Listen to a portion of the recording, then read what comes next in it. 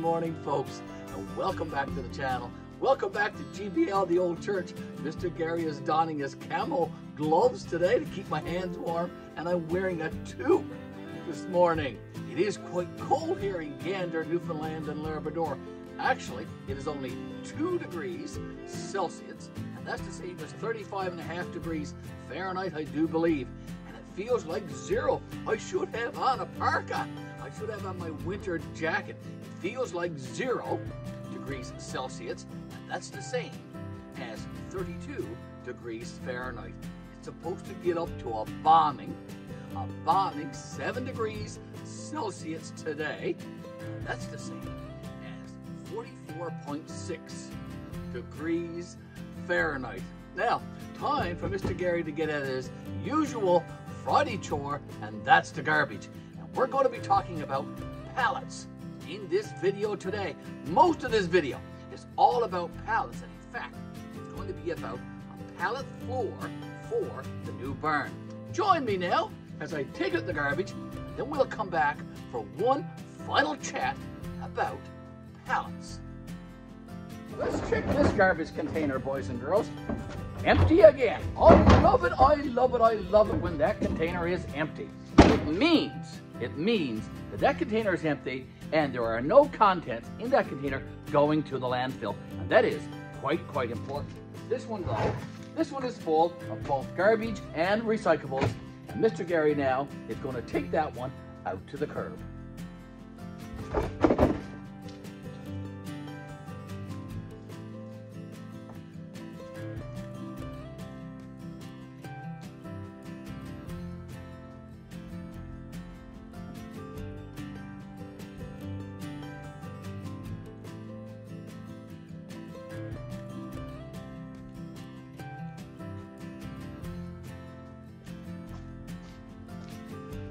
That wasn't too bad at all. And I wanted to talk to you this morning about pallets.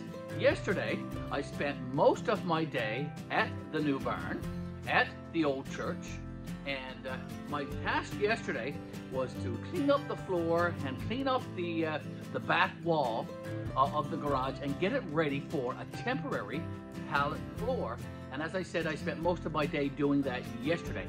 I'm going to go back to the old church today and to the new barn and finish that task, uh, making the floor and putting together a couple of epic shelves uh, the style of Mike Dickens from Grampie's Workshop from Nova Scotia. Mike is a great friend of mine, and him and I, we chat at least once a week. He has a great, great channel, Mike's Workshop, and he made a couple of epic shelves a while ago, so go check it out.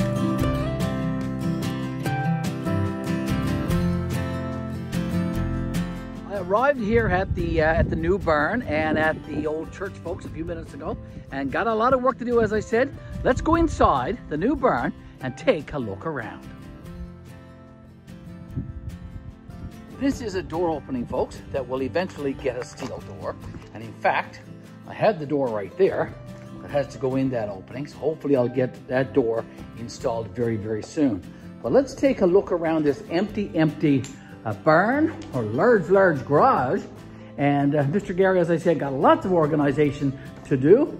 Uh, right now, I'm gonna, I'm gonna move all of that scaffolding that's down there next to the back wall. That all has to be moved and stored someplace else. I'm going to put in a temporary floor using some pallets and these old sheets of OBS. So I'm gonna lay those down, then I'm gonna cover that with some plastic.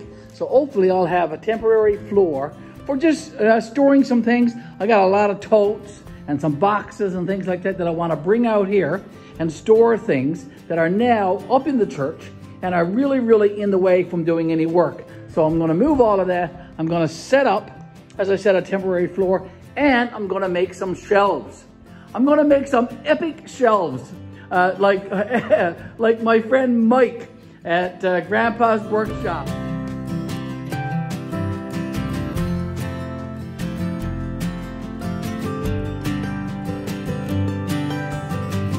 In Nova Scotia. Uh, Grandpa Mike uh, made some epic uh, storage shelves a little while ago on his channel. Go check him out, folks. He's a great, great guy.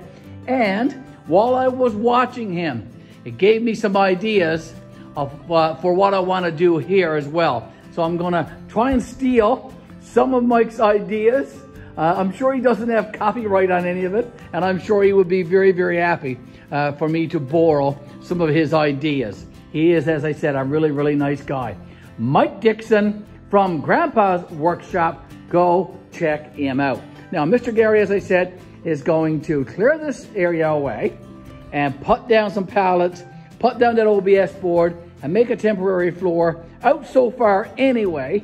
And then I'm going to get some shelving put up, some temporary shelves to store lots of things, as I said, that are currently up in the church. Okay, so don your gloves, Mr. Garry, to protect your hands. We're going to move the that's our first task. Everything off the wall and stored at some other location in this garage, folks, in this big old barn. Okay, so here we go. Piece of scaffolding number one.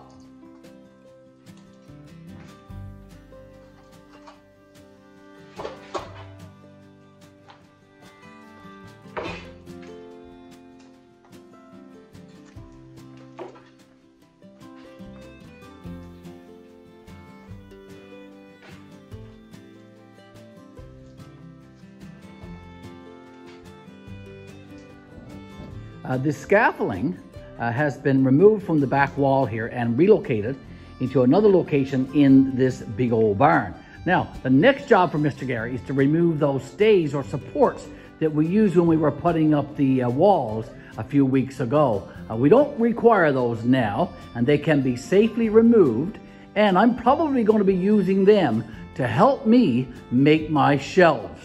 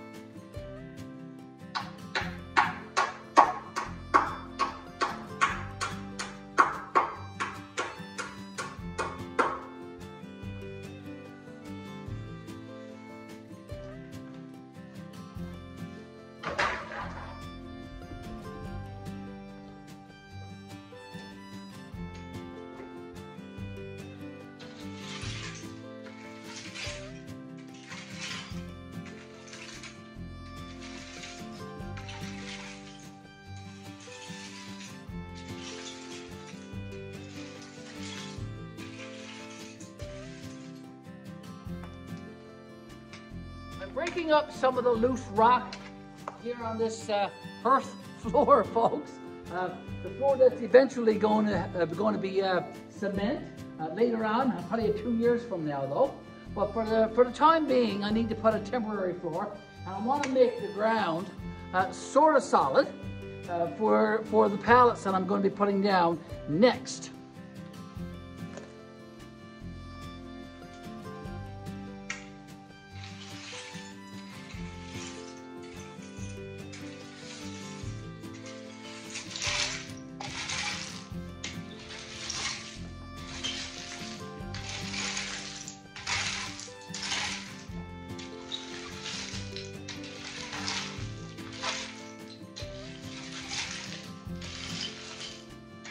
I did manage to scrape off all of the loose rock, or the majority of them, anyway, that was on this floor. And I do think I have a nice smooth, solid base now for those pallets. I'm going to put down at least two in a row, and I'm going to go the full width of this building uh, from the garage door opening over on that end all the way over here where eventually a steel door will go. So I'm going to put down two pallets and we're hoping to be able to put down these full sheets of OBS. So we're going to come out from the wall eight feet and have a nice eight foot floor that's going to be 30 feet long for me to store a lot of things that are currently, as I said, up in the church. They're to be brought out here. Now, I have a, I have a concern. I want to share that with you right now. I know that there's going to be dampness and moisture coming up through this earth. So once I get the uh, pallets down, I'm going to lay down some heavy plastic. And I'm going to show that to you shortly. And then I'm going to put down the OBS. And I think with the pallets and the heavy plastic and the OBS, I should have a nice little solid temporary floor for this building for me to store things. And I'm also going to put some shelves up along this back wall. A epic storage shelf, just like my friend Mike Dickens at Grampie's Workshop. And I'm going to be able to store some things up high off the floor that I don't want to get damp and things like that. So uh, bear with me in the next little while. Uh, I'm hoping to get at all that. My next job now is to go outside over by the old church and bring back some pallets. I have lots. I'm over here next to the old church now, folks, right there. And I know I have 10 pallets right there. And if you look in the distance, way back there, there's another pile of another 10. And behind the old church, I probably have another 50. So lots of pallets. I'm not concerned about that. So I'm going to be starting to uh, take those over to the uh, new barn now and start, uh, start laying those down in place. Pallet number one, folks, of probably 20 or so that's going to be laid down on this ground, on this earth floor over the next little while. So bear with me, give me a bit of time. First row of pallets laid down for this temporary floor, folks, here at the new barn, here at GBL, the old church, five acre homestead. Let's get another row of pallets down on this hearth floor, shall we? Let's do it.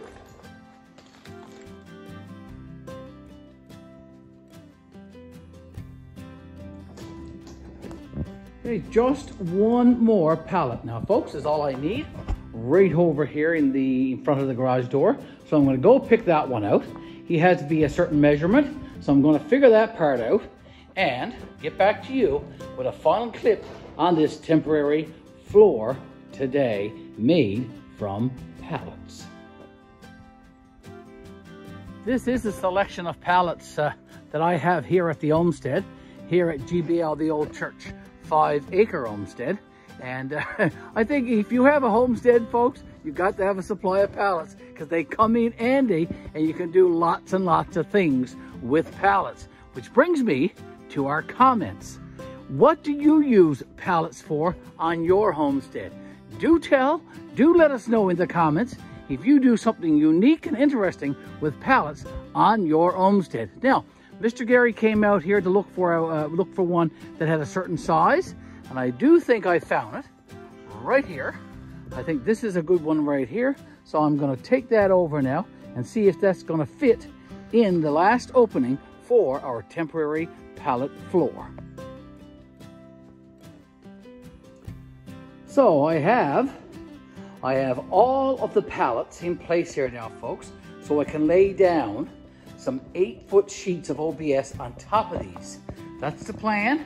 Uh, before I put the sheets though, I'm gonna lay down some plastic first. I've got some heavy duty white plastic that I'm gonna lay down to keep the moisture down. And then I'm gonna put the sheets of OBS on top of this.